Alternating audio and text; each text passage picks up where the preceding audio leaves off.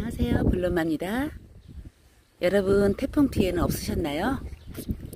블론마는 또 이렇게 태풍이 지나간 다음에 바이솔들이 어떤가 한번 이렇게 텃밭에 살펴보러 나왔습니다.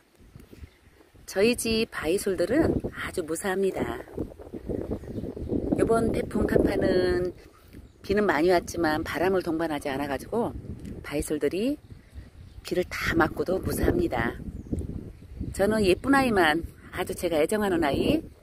요 아이하고 그리고 요 뒤에 덩치가 큰 아이. 요 아이만 들렀어요.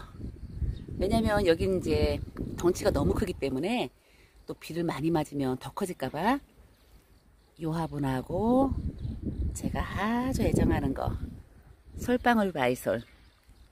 웃자랄까봐 요 두 아이만 태풍 타파에 저쪽에 헛간으로 들렀습니다.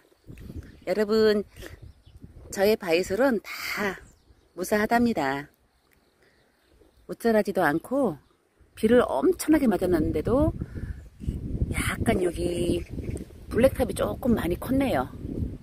이 아이만 많이 컸고 다른 아이들은 더 좋아요. 거미줄 바이솔은 더 잘 크고 있습니다. 여러분 이 아이도 굉장히 예쁘죠? 이 아이는 근데 제가 이렇게 예쁜데 이름을 잘 몰라요. 아주 예쁘게 요 촛대분에서 잘 크고 있습니다. 여기에 주얼리 바이솔 이제 꽃이 지고 있어요. 주얼리 바이솔이고 오, 바람이 많이 불어서 추워요. 요거는 제가 너무 애정을 해가지고 태풍 타파에 피신을 시켰던 아이 색감이 너무 예쁘게 물들어가요. 여러분 요것 좀 보세요.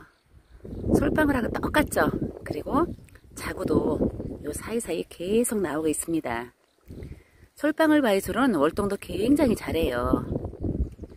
그리고 또 여기 제주 호박돌에 심어준 울릉도 바이솔 생기를 되찾고 아주 예뻐지고 있어요.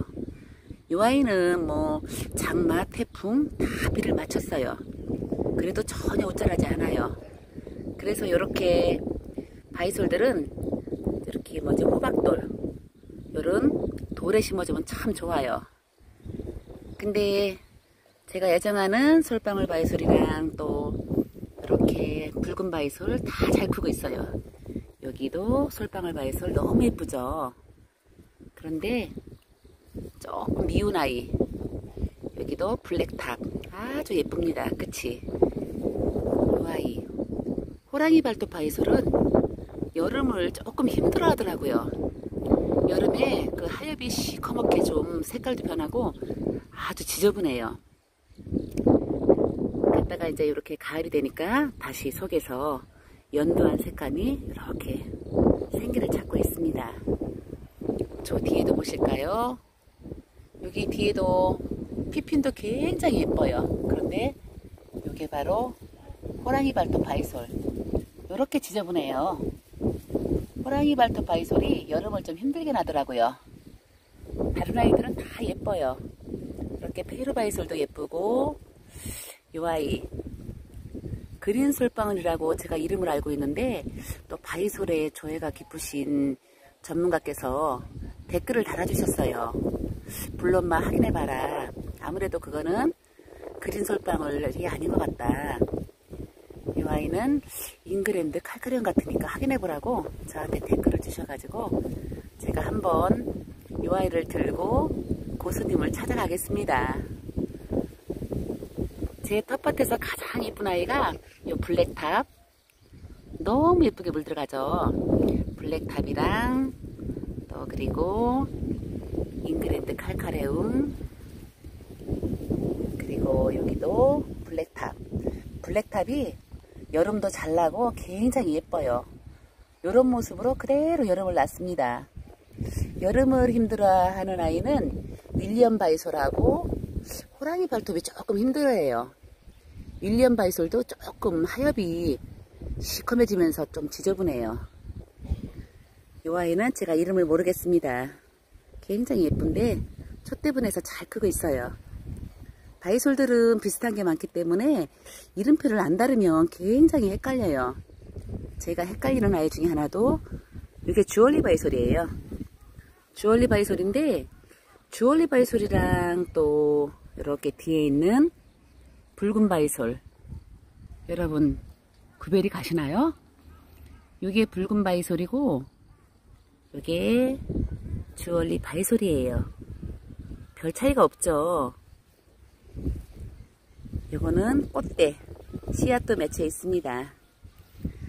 그리고 제가 애정하는 아이 이거 되게 애정하는 아이인데 이 아이는 제가 태풍 타파에 피신을 시켰다가 어제 다시 나왔습니다. 그리고 생기를 되찾는 이 울릉도 바이솔 속에서 이렇게 또 새로운 입장이 나오고 있습니다.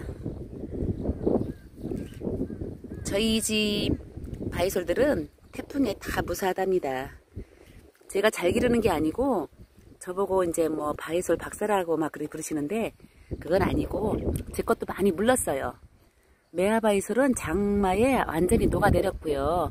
그리고 또 군데군데 많이 물렀습니다.